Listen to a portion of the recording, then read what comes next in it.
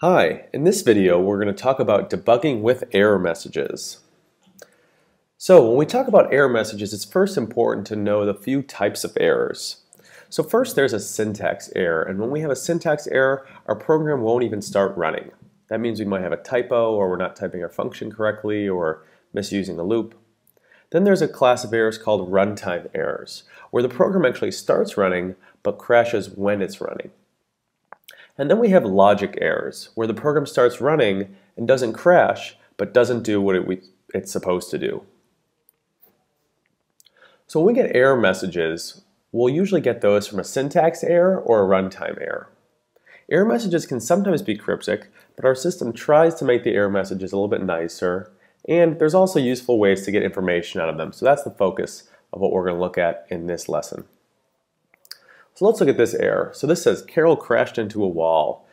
Error on line 22, Karel crashed into a wall, do you have an extra move command? So here we have an error, a line, and a suggestion on what might be a fix. So there's another error called a reference error. You can see uncaught reference error, create steps is not defined. This might mean we have a typo. We'll have a look at this error in more detail. And then unexpected identifier. This means that there's some sort of typo in getting the program to run, maybe with brackets or parentheses. So, what types of information can we get from error messages? First, we should ask these questions. Does the error message reference a function? If so, we could check that function. Does the error message reference a line number? If so, we can check that line number. Does the error message provide some other sort of hint? How can we use that in our debugging process? So let's debug a problem together. Okay, so let's look at how we can debug this staircase. So if we look at our result world, we're trying to build a staircase that kind of goes all the way up. So if we run this, oh, we get an error. It says bad input on line 10.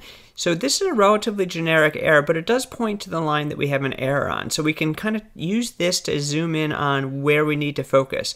And if I look, well, while front is clear looks right, but this is a while condition. And if you remember, we need to have a semicolon after our while conditions, so we don't have that there. Okay, so now let's take a look where we set our code. Um, and again, this code is really just trying to build a staircase. We have a put ball, we're doing this while front is clear loop, and then we are running up and creating a step each time. So let's try that now. Oh, and it says error named turn right is not defined. So when we use a command that is not present and Karel doesn't know, this is the error that we get. So it says turn right is not defined. Well, it turns out we're not using super Karel here, so we have to actually define that command. So let's define turn right.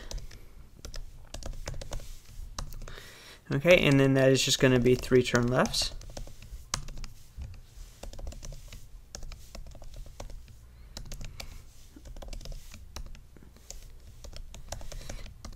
Okay, and so now if we run that, we should see Karel creating our staircase.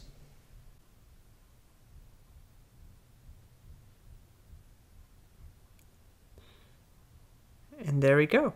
So Karel has created our staircase. So again, we can use our errors, you know, if we have errors like this, it gives us an idea of where our line is. When we have a command that Karel doesn't know, we're seeing something like this where it says, okay, turn let is not defined. And so that tells us we're giving Karel a bad command.